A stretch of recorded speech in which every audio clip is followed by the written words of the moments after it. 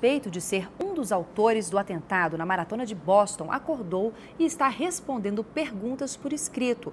O americano de origem chechena, Johar Tsanaev, está internado desde a última sexta-feira em estado grave, depois de ter sido ferido durante perseguição da polícia. O outro suspeito de participar do ataque, Tamerlan Tsanaev, irmão de Johar, foi morto na sexta. E terapeutas diferentes estão ajudando na recuperação das vítimas do atentado de Boston. A visita de cães, segundo os pacientes, tem ajudado a diminuir o estresse.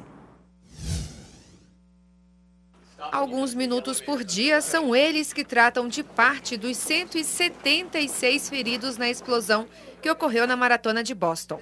Segundo esse paciente, que se recupera de queimaduras de segundo grau, a visita dos Golden Retrievers ajuda a esquecer o que ele está passando.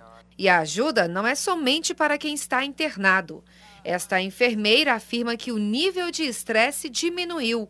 Os cães são os mesmos que foram levados para Newton em dezembro, depois que uma escola foi alvo de um tiroteio. Uma mensagem de esperança, segundo o treinador.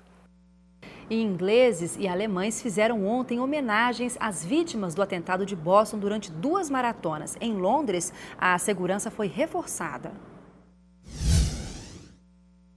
Cerca de 36 mil pessoas participaram da Maratona de Londres, a primeira grande corrida desde que um atentado deixou três mortos e quase 180 feridos em Boston.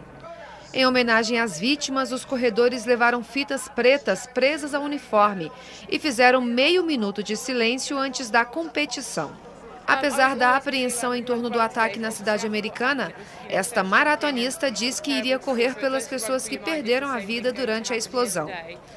Este homem diz que tem amigos em Boston e que o atentado fortaleceu ainda mais sua decisão de participar. A polícia de Londres garantiu que pôs mais oficiais nas ruas para que os corredores se sentissem seguros e não como resposta a nenhum tipo de ameaça real.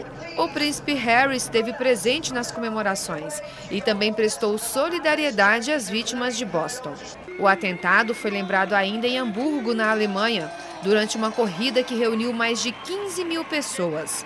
Os corredores levaram pulseiras amarelas com as inscrições Corra pela Maratona de Boston 2013.